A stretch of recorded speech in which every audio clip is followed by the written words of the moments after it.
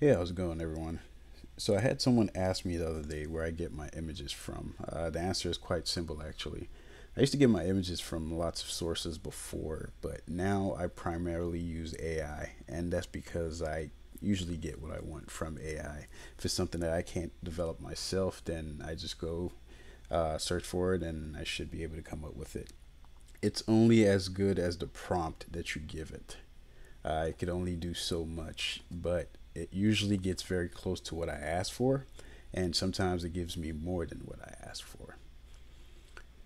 So the first thing you want to do is open up Microsoft Edge if you're on a Windows, and if you're on a Mac, uh, just go ahead and search for Microsoft uh, Copilot, and this should pop up. This symbol is basically everywhere. Uh, but for the sake of this tutorial, we're going to use Microsoft Edge uh, since that's what I primarily use. With AI, there are slight differences in the way that images are generated depending on the generator that you use. Microsoft Copilot is absolutely free, guys. Uh, they may have some paid plans that I don't know about, but for me, it allows me to generate the images that I want. Uh, so to not drag this video out, uh, what I'm going to do is I'm going to show you how I get the images and how I also use them in Lightburn. So the first thing you want to do is click this symbol here, uh, which is the symbol for Copilot if you're on Windows and you opened up Edge. And then you come down here and you type in your prompt that you want.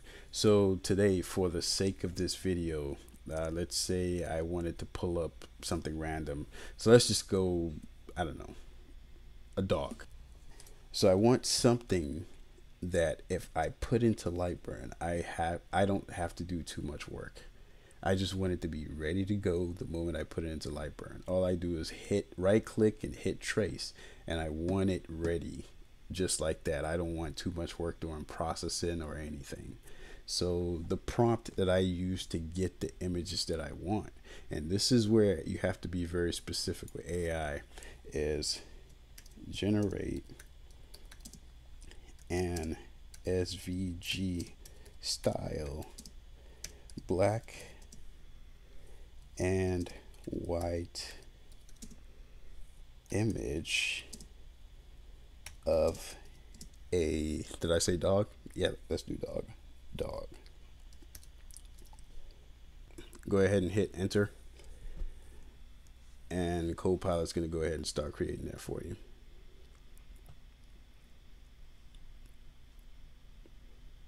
all right uh, these look decent. Now if you notice I didn't specify too much. I just said generate an SVG style generate an SVG style black and white image of a dog. So let's see what it, what it has given us. All right. Uh, if you look at this this is definitely an SVG style image. If you pop this in the Lightburn right now and hit right click and hit trace this image will trace and you would not even have to make any adjustments to your photo. Uh, let's see the next one. Oh, I like this one. My kids will like this one too. I think I'm going to save that. All right, let's just put in my downloads folder.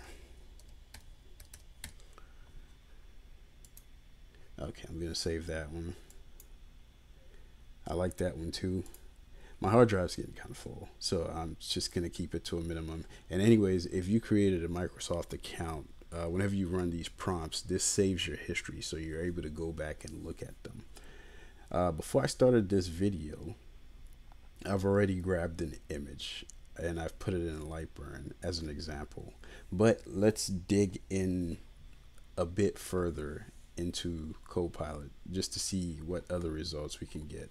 Now, this is very simple stuff. I mean, once you got this line right here, generate an SVG style black and white image, uh, what you would adjust to get something else, uh, just copy that and paste that here. This is where you get more specific. So generate an SVG style black and white image of let's say an adult cat climbed in a wall. Let's see what it gives us. Go ahead and hit enter. Now you can run the same prompt wherever you are and you may get a completely different result, but the theme is always general. It would be in this style, black and white, looking like an SVG. Well, it's practically an SVG. You just take it to the Lightburn and you convert it. Uh, you trace it and you get what you want. But uh, okay, those are nice. Uh, let's take a look at them. So these are more intricate. My God, that is beautiful. But these are more intricate designs. But Lightburn will trace this just in an instant because they are in this format. They are designed this way. It is so easy for it to see. Uh, that you know, uh, that's the AI thing right there. Uh, just looks like the cat's digging into the wall. So we're not gonna use images like that. Well, at least unless you actually like that type of image. But this one right here is pretty nice. And this one, this is the money shot right here. If you're a cat lover, this one is right for you. Uh, just let me know if you want it and I will send it to you so you can use it in your project or whatever it is you want to do. I'm just going to go ahead and save that right now. Uh, cat. Climbing wall. Well, as far as that portion, that's it, guys. Whatever you want, you literally come to Copilot. Uh, you see these credits right here. Uh, every single day you get 15 credits. And what happens is those credits are supposed to be depleting every time i search for an image. For some reason it doesn't change when i do it on a computer but when i do it on my mobile phone it it changes. Uh, it drops until those credits run out for the day. Then your image generation becomes very very slow. But before then it generates pretty fast uh, but like I said, if you like any of these images I just pulled up, let me know. This is your bread and butter right here. As far as the what I how I get what I want, this is my bread and butter for getting that type of image. I would go generate an SVG style black and white image of, and then I would give AI a very specific details, the very specific details of what I want, and then it goes ahead and you know does this thing and I pick whatever image I want. Now, don't be surprised if you use Copilot on your phone and it only gives you one image. Uh, they did this update and the layout changed and you only get one image. But if you want four images at once, just go ahead and do it on your computer and it should work. Uh, let's take a look at Lightburn so I can show you that image that I had. So, uh, my son said he wanted a Halloween tree, uh, which is what this design is for and it's the same thing I did here. I literally just generate an SVG style black and white image of a Halloween tree splitting right down in half and or, or of a spooky Halloween tree with a pumpkin head splitting right down in half and that popped up and that's how I got that. But what I wanted to show you in Lightburn was how easy it is for Lightburn to actually trace these images because you had AI do them that way. So let me go ahead and delete this. And the cool thing about this is you just click the image, you right click the image, and you go to trace image. I just look at it one time. I don't even have to adjust anything. I just hit OK. And then I just click the image again and drag off whatever it is that I traced and bring it here. Now, this blue is my fill layer here, so it's already on the fill layer. If I hit preview, you would barely be able to tell the difference between these two images. Look at that. Lightburn just grabs all those details. So just like that, you have an image that you can use for whatever it is that you want. Just like that. That's it.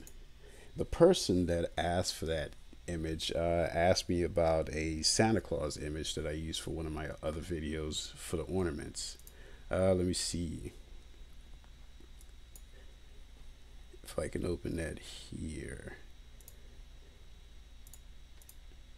All right.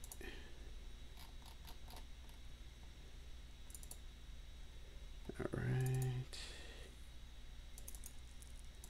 Okay. And see, that's how I generated all these images right here. Uh, I believe this is the image in question, but I'll just show another image just to see. Now look at this. Uh, when I generated this image, it popped up with some other stuff that I didn't want, right? So let's say I just wanted Santa Claus. I would right click the image and I'll go to trace image. And of course, I just look at it once, I'm fine. Once this is what I want exactly. So everything else could come in messed up. I don't care. I just hit trace and I drag that over. But I have elements here that I don't want. So I already know that I want the giant Santa, but let's say I want to keep the bag as well, but I want to get rid of this guy. That's just simple. You click that trace that Lightburn gave you, right click and you ungroup it.